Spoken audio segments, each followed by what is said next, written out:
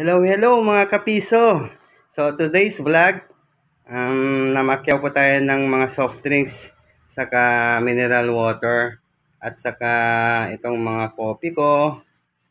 At uh, umabot tayo ng, itong lahat-lahat ng ito ay sumabot tayo ng, ayan o, oh, um, 11,000, halos nasa 11,000 po siya.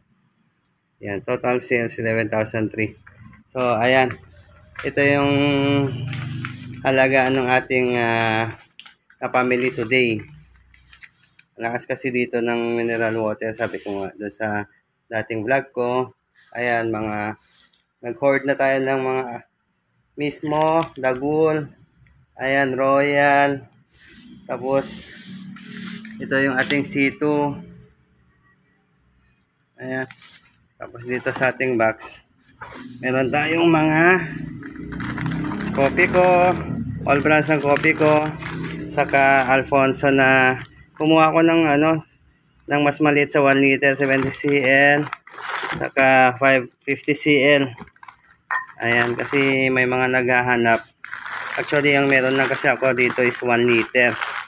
So naghanap sila wala kong may bigay. At yung mga bagong Dati ayaw ni Mrs. maglagay ng bagong dito sa store kasi mabaho daw. Sabi ko naman hindi naman ganun kabaho kasi katulad yan, no, naka-sealed siya. Eh, sayang yung mga customer na naghahanap ng bagong. So, ayan. Sa wakas, kumuha rin kami. Ayan, meron tayong RDL. Kasi may mga naghahanap din ng ganito, oh, RDL. May number pala to 1, 2, and 3 na RDF. Sa loob, meron din mga cream top. Ayan. Cream top. Tapos, kabilang karton. Coffee ko naman. Coffee ko ulit. Ayan, Nescafe Decaf. Ayan. Coffee mate. Coffee ko na white.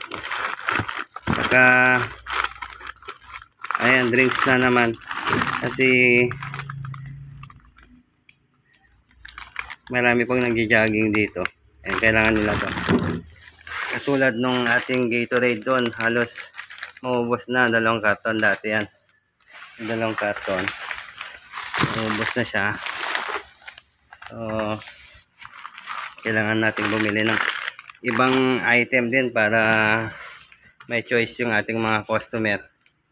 So,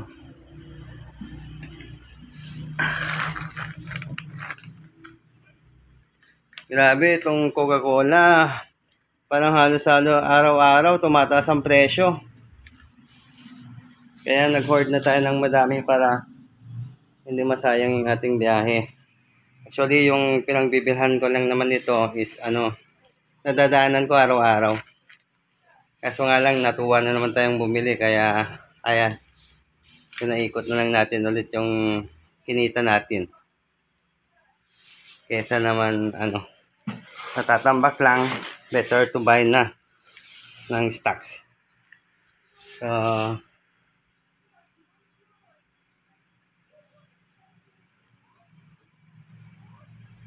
So mga kapiso, salamat ulit sa walang sawang pagsuporta sa akin, panonood ng aking uh, munting vlog. Ito medyo hindi pa sanay sa harap ng video kahit walang tao dito. Halos na utal pa rin. Siguro later on, masasanay din tayo. At uh, yan na nga, yung pinakita ko sa inyo, yung halaga ng 11,000 worth ng soft drinks lang, saka mineral water, at konting mga kape-kape at bagong. Kasama na yung konting Alfonso, mga ilang piraso lang naman yun. So, hopefully nagustuhan nyo ulit yung aking video at uh, huwag po kayong magsawang sumuporta sa akin. At sa mga hindi pa po nakapag-subscribe sa aking channel, please uh, subscribe na po kayo para ma-notify po kayo sa aking mga ibang videos pa. At uh, paki-like na rin po at uh, press din po yung bell button po. Salamat, maraming maraming salamat po. See ya. See ya mga kapiso. Bye-bye!